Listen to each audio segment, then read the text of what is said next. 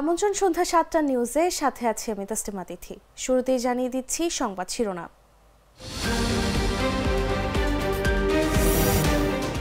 আওয়ামী লীগ জোটবদ্ধভাবে নৌকা প্রতীকে নির্বাচন করবে জানিয়েছে ইসি। রাজধানী সড়কে গাড়ির চাপ, বিভিন্ন সিগন্যালে যানজট।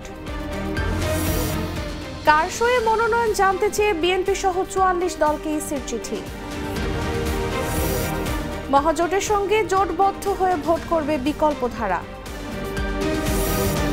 ঢাকা দশ ও মাগুরা এক দুই থেকে আওয়ামী লীগের মনোনয়ন ফর্ম কিনলেন সাকিব।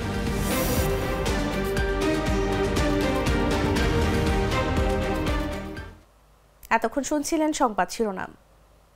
বুঝতে হবে, এটা ইউনিক স্ট্রাকচারাল ডিজাইনের কসমিক ডোর এর ওয়াল থিকনেস এবং রিপ থিকনেস বেশি থাকায় টিকে পঞ্চাশ বছরেরও বেশি। কসমিক ডোর এবারে চলে যাচ্ছি পুরো খবরে। আওয়ামী লীগ জোটবদ্ধভাবে নৌকা প্রতীকে নির্বাচন করবে বলে জানিয়েছেন নির্বাচন কমিশনের অতিরিক্ত সচিব অশোক কুমার দেবনাথ। শনিবার ইসি ভবনে সাংবাদিকদের প্রশ্নের জবাবে তিনি কথা জানান। এর মধ্যে ইসিতে সাতটি দলের জোটবদ্ধ আবেদন এসেছে। এগুলো হলো বাংলাদেশ আওয়ামী লীগ জাতীয় পার্টি, বাংলাদেশ সাম্যবাদী দল, জাতীয় সমাজতান্ত্রিক দল, Bangladesh workers party, Trinamool BNP জাতীয় পার্টি। ইসির অতিরিক্ত সচিব বলেন, আওয়ামী লীগ চিঠি দিয়ে জানিয়েছে, জোটবদ্ধভাবে নৌকা প্রতীক নিয়ে নির্বাচন করবে। আর সভাপতি সয়ে নমিনেশন দেবে তারা।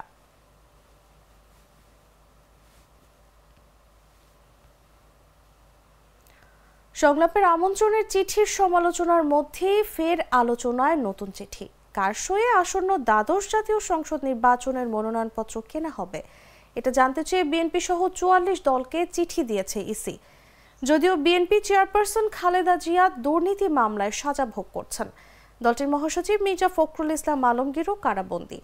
চিঠিতে বিএনপি ও অন্য রাজনৈতিক দল থেকে মনোনীতদের মনোনয়ন দেওয়ার ক্ষমতা ও প্রতীক বরাদ্দ প্রসঙ্গে জানতে চেয়েছে ইসি। বিএনপি সহ চুয়াল্লিশ দলকে এমন চিঠি দিয়েছে কমিশন।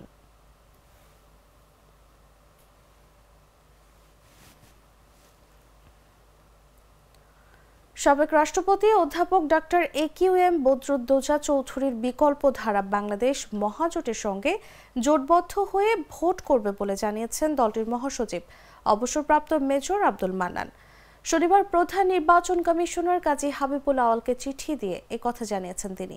সিইসিকে চিঠি দিয়ে আব্দুল মান্নান জানান বিকল্প ধারা আসন্ন জাতীয় সংসদ নির্বাচনে আওয়ামী লীগ নেতৃত্বাধীন মহাজোটের শরিক দল হিসেবে নির্বাচনে অংশ নেবে। আমাদের নির্বাচনী প্রতীক হবে আমাদের দলীয় প্রতীক কৃপা। পরবর্তীতে জোটের সিদ্ধান্ত অনুযায়ী জোটগত প্রতীকে নির্বাচন করতে আগ্রহী।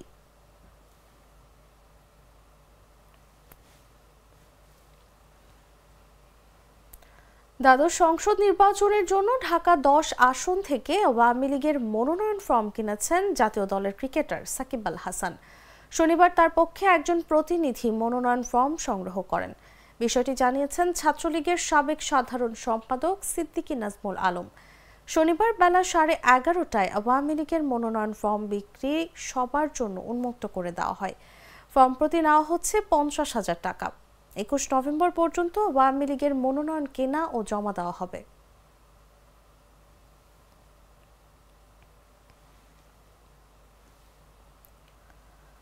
আগামীকাল রবিবার থেকে আটচল্লিশ ঘণ্টার হরতাল ডেকেছে বিএনপি জামায়াত ও অন্যান্য রাজনৈতিক দল। এর আগে গত বৃহস্পতিবার পর্যন্ত অবরোধ ছিল রাজনৈতিক দলের। আজ শনিবার সরকারি বেসরকারি অধিকাংশ অফিস বন্ধ থাকলেও রাজধানীর কিছু কিছু এলাকায় যানজট দেখা গেছে। বিশেষ করে রাজধানীর বিভিন্ন সিগনালে দীর্ঘ যানজট রয়েছে। রাজধানীর মিরপুর, ফার্মগেট, কারওয়ান বাজার, শাহবাগ, বাংলা মোটর, বাড্ডা, রামপুরা, মালিবাগ ও নিউ মার্কেট এলাকায় যানজট রয়েছে। এতদিন অবরোধ ছিল এবং আগামীকাল হরতাল রয়েছে। এ উপলক্ষে প্রয়োজনীয় কাজ করতে বাইরে বেরিয়েছেন নগরবাসী। নিত্য প্রয়োজনীয় দ্রব্য, শপিং ও জরুরি চিকিৎসা সেবা নিতে বাইরে বের হয়েছে অনেকেই।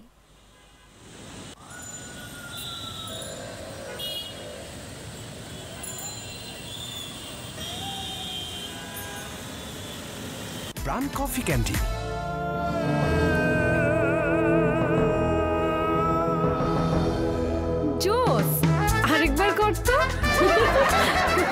Pran coffee candy কররা কফি, কঠিন স্বাদে। হাইকে বলো, বাই।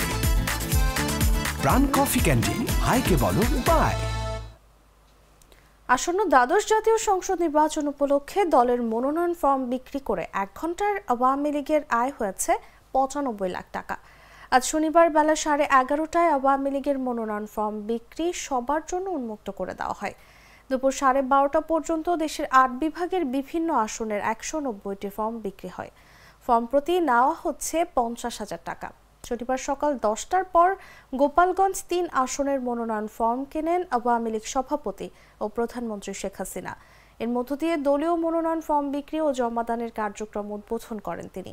এ সময় আওয়ামী লীগের সাধারণ সম্পাদক ওবায়দুল কাদের সহ কেন্দ্রীয় নেতারা মনোনয়ন ফর্ম কেনেন। একইভাবে বাইরে থেকে হুমড়ি খেয়ে পড়েন সকাল থেকে অপেক্ষমান নেতাকর্মীরা।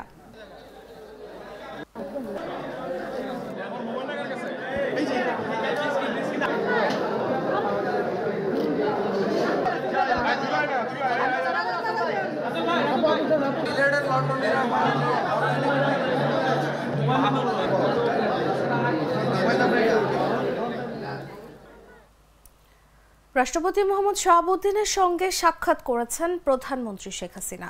শনিবার বেলা এগারোটার পর বঙ্গভবনে যান প্রধানমন্ত্রী। এটি সৌজন্য সাক্ষাৎ ছিল। আসন্ন নির্বাচন সহ নানা বিষয়ে দুই নেতার কথা হয়েছে বলে ধারণা করা হচ্ছে। প্রধানমন্ত্রীর প্রেস উইং থেকে জানানো হয়েছে, বাংলাদেশ আওয়ামী লীগ সভাপতি ও প্রধানমন্ত্রী শেখ হাসিনা গণভবন থেকে ব্যক্তিগত গাড়িতে করে আওয়ামী লীগের কেন্দ্রীয় কার্যালয়ে এসে দলীয় মনোনয়নপত্র বিক্রির কার্যক্রম উদ্বোধন করেন। পরবর্তীতে তিনি সরকারি গাড়িতে করে বঙ্গভবনে গিয়ে রাষ্ট্রপতির সঙ্গে সৌজন্য সাক্ষাৎ করেন।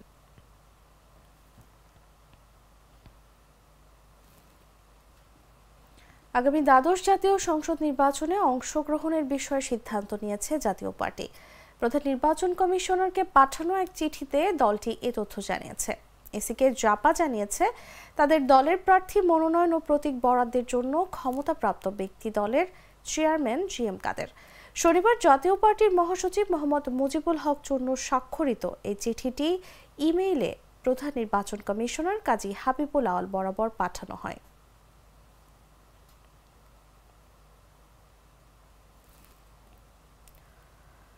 ঘূর্ণিঝড় মিথিলের প্রভাবে চাঁদপুরে আধপাকা রোপা আমন ধান, সরিষা ও শীতকালীন সবজির ব্যাপক ক্ষয়ক্ষতি হয়েছে।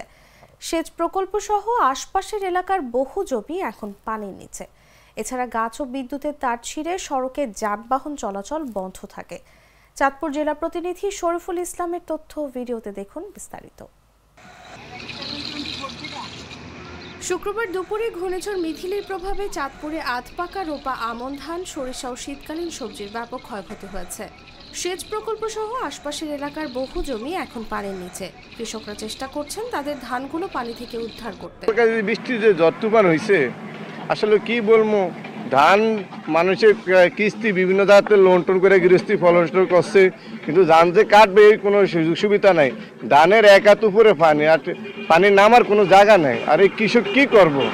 আমরা মনে এই যে বাইশ ঘণ্টা জমি আঠারোটি বাইশ ঘণ্টা জমি ধান খেতি করছি, এদিক মনে করেন কিছু কাটছি, কিছু ফাড়ির তলে মনে করেন আস্থা এগুলো সব কিছু রইয়া গেছে।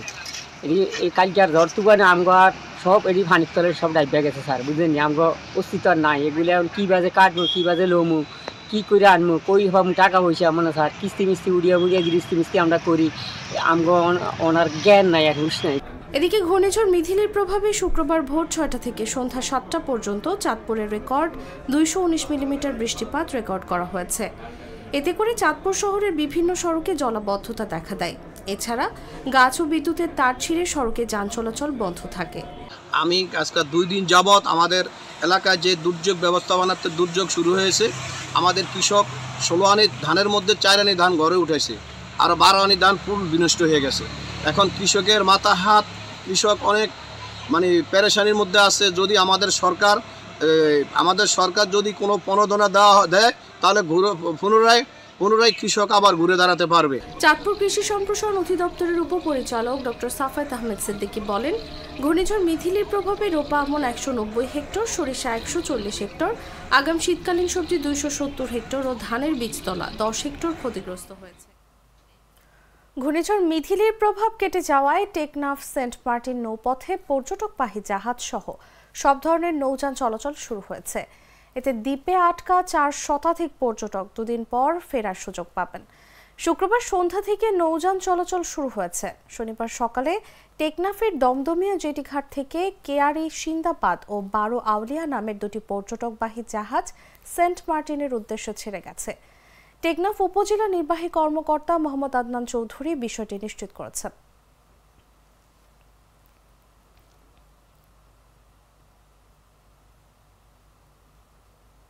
জানাব আন্তর্জাতিক সংবাদ।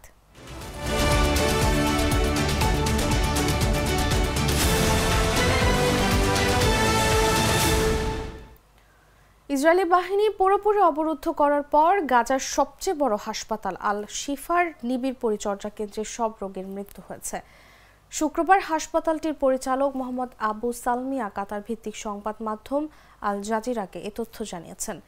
এর আগে বুধবার যুক্তরাষ্ট্রের এবিসি নিউজ জানিয়েছিল, হাসপাতালটির আইসিইউতে থাকা তেষট্টি রোগীর তেতাল্লিশ জনেরই মৃত্যু হয়েছে। আবু সালমিয়া বলেন রোগী চিকিৎসা কর্মী এবং আশ্রয় নেওয়া মিলিয়ে সাত হাজার লোক হাসপাতালে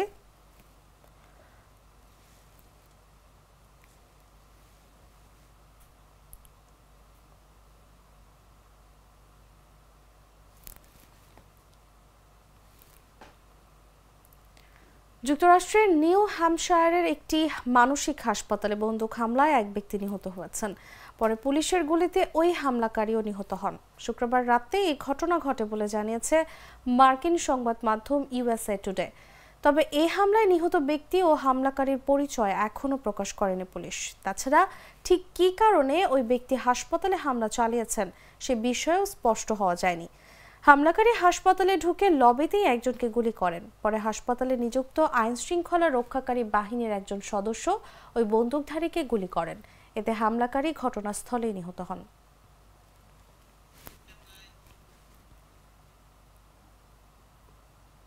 দর্শক, এই ছিল এখনকার মতো। ধন্যবাদ এতক্ষণ সাথে থাকার জন্য।